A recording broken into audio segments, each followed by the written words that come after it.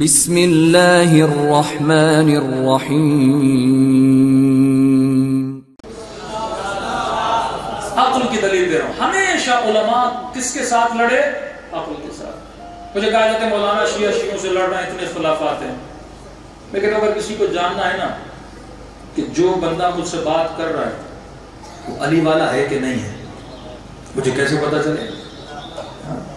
کلمت الحق تراد به الباطل۔ جنگ صفین میں جو نعرہ بلند کیا تھا نا قرآن کو نیزوں پر مولا علی نے کہا یہ کلمہ حق کا ہے، پر ان کی نیتیں باطل کی ہیں۔ ہاں؟ کبھی کبھی بندہ علی کا نام لیتا ہے، لیکن کام شیطان والا کرتا ہے۔ کئی لوگ دیکھیں نا، آپ نے چرس پیتے ہوئے کہتے ہیں، علی علی۔ ہاں بھائی، بن کا باقاعدہ وہ سدھی میں چھا چھاچا ہونا کنڈو کنڈو چھاچا نہ ہوتا ڈنڈو کنڈو تو بھنگ بھی بنا رہا ہے اور علی علی بھی کر رہا ہے اس کا مطلب اس نے علی کو سمجھا نہیں ہے یہاں صرف ناروں کا زور ہے اور ایک بندہ اٹھے بڑا زوردار نعرہ مارے نعرہ اے علی کیا ہوگا ایمان بڑھ جائے گا تیرا کیا ہوگا یا علی کہنا آسان ہے، علی کے ساتھ رہنا مشکل ہے۔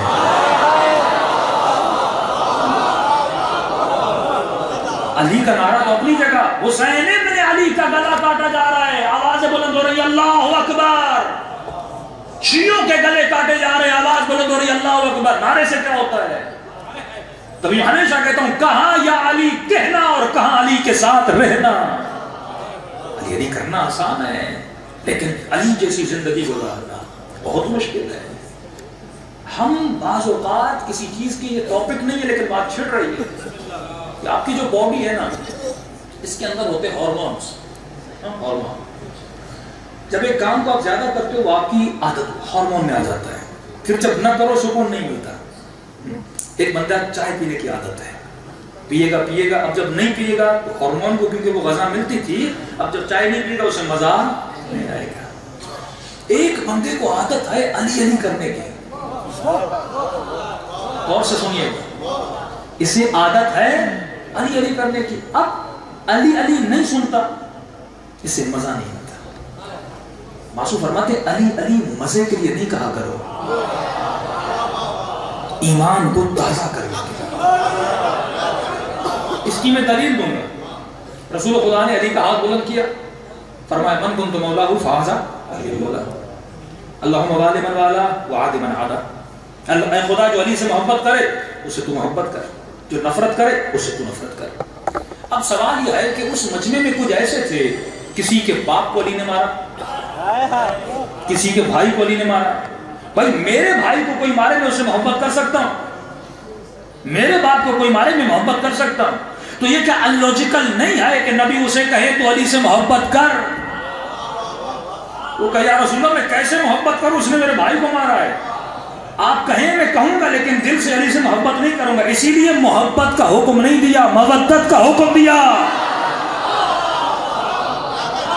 محبت کا تعلق جذبات سے ہے مودت کا تعلق عقل سے ہے۔ اچھا لگے نہ لگے، علی سے محبت کر۔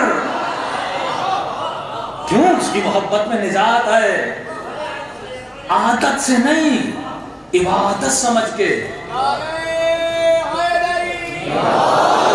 اب غور سے سنیے کہ بات حساس ہے۔ غور سے، توجہ میری طرف ہے کہ نہیں ہے؟ اگر کسی کو علی علی کرنے کی عادت پڑ جائے، عادت۔ دیکھیں میں نے مولا کہتے مولانا انڈیا کا گانا ہے۔ بہت اچھا ہے۔ گانا اور اچھا۔ ہاں مولانا مولانی کا ذکر ہے اس میں۔ اس سے تمیز نہیں ہے کہ علی کہاں اچھا لگتا ہے۔ یہ عادت عادت پہ مجبور ہے۔ بس اسے علی علی کرنا ہے۔ کہاں کرنا ہے؟ کس جگہ کرنا ہے؟ یہ تمیز نہیں ہے۔ وہی اللہ کا نام تو لے سکتے ہو نا، لیکن کہا، نجاست میں اللہ کے نام کو ہاتھ بھی نہ لگایا کر۔ ہاں، یہ پاک ہے۔ مولا حسین کے حرم میں ایسے جا سکتے ہو۔ فرمایا، نہیں، جب کربلا جاؤ، پہلے نہایا کرو، وضو کرو۔ سفید لباس پہنو، اس کے بعد بھی ایسے داخل نہ ہونا اذن دخول پڑھنا محبت ہے تو ادب بھی ہونا چاہیے۔ خدا کو بے ادب بندہ پسند نہیں، علی کو بے ادب چاہنے والا پسند نہیں۔ بڑے مراتب میں اٹھائیس آداب ہمیں بتا دیں ہم تو خیبر و خندق میں لگے ہوئے ہیں۔ اتنی دعائیں مقارم الاخلاق امام حسین العابدین کی دعا یہ خزانے اسی اسی جلدیں اہل بیت کے فرام بھائی، کب پڑھو گے؟ کب سنو گے؟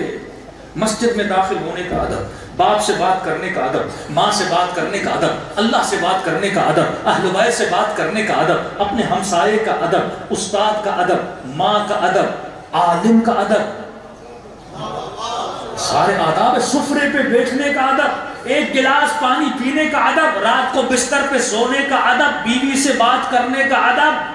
بیوی سے جو رشتہ بناتے ہو، اس کا ادب کیا ہوتا؟ یہ سارے اداب معصوم نے بتا کس کے لیے بتائے شمر کے لیے؟ اپنے چاہنے والوں کے لیے نا۔ اب کہتے ہیں، مولانا گانا آیا ہے اس میں علی گل کیونکہ یہ علی کو علی کہہ رہا ہے عادت کے مطابق۔ جب عادت ہو نا، تو بندہ کہتے ہر جگہ کہوں عادت ہو نا، وہ کہتے ہیں ہر جگہ یہاں پہ بھی علی کہوں، یہاں پہ بھی علی کہوں، یہاں پہ بھی علی کہوں۔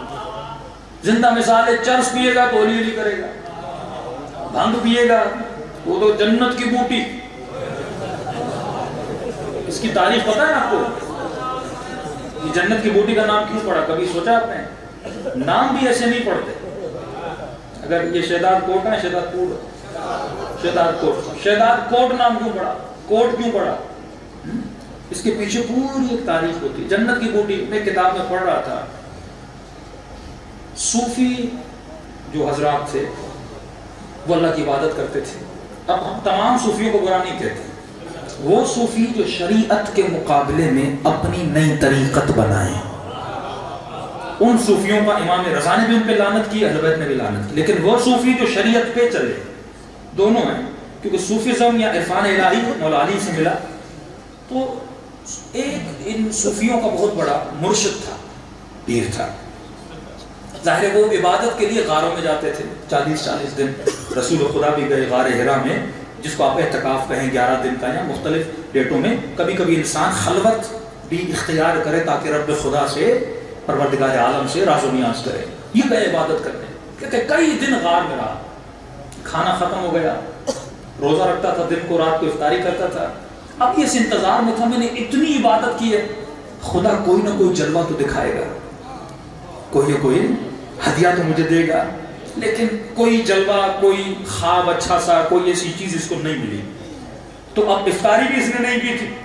اب غار سے باہر نکلا، اس کا چلہ پورا ہوا۔ صحرا سے ایک جگہ سے گزر رہا تھا۔ بھوک بہت لگی۔ اس کو وہاں پہ ایک پودا نظر آیا۔ سبز پودا اس نے کہا، چلو اللہ کی زمین سے ایک اگا ہوا سبزہ ہے، اسی کو کھاتا ہوں۔ وہ پودا تھا بھنگ کا۔ اس نے اس کو توڑا، توڑنے کے بعد کھایا۔ اور کھانے کے بعد جو سرور ملتا ہے، میں نے نہیں کھایا بھائی۔ لیکن جو سناتے ہیں، کہتے ہیں سارے ٹینشن دور ہو جاتے ہیں، بندہ ٹھنڈا ٹھنڈا ہو جاتا ہے۔ ہاں، ایسے لگتا ہے جیسے پرواز کر رہا ہے۔ اب یہ منتظر تھا کسی تجلی کے۔ تو جیسے اس نے کھایا وہ تھکاوٹ چلی گئی۔ ایسا سرور آیا۔ اس نے کہا تو مجھے تو عبادت میں بھی آج تک اتنا مزہ نہیں آیا۔ یہ کیسا سرور ہے؟ تو فوراً شیطان نے ذہن میں ڈالا، یہ جنت سے اللہ نے تیرے لیے بھیجا ہے۔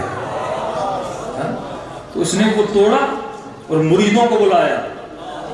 کہا چالیس دن کی عبادت کے بعد آج اللہ کا وہ ہدیہ لایا ہوں۔ جس کو کھاؤ گے تو سرور ہی سرور ہوگا۔ اب جب سے وہ مرید جو نمازی تھے، لیکن اس کو کھانے کے بعد سارے موالی بن گئے۔ ہاں؟ تو کبھی شیطان جب انسان کو گمراہ کرتا ہے نا، وہ عابد کو بھی نہیں چھوڑتا، وہ زاہد کو بھی نہیں چھوڑتا۔ تو اس وہم میں نہ رہنا، وہ تجھے چھوڑ دے گا۔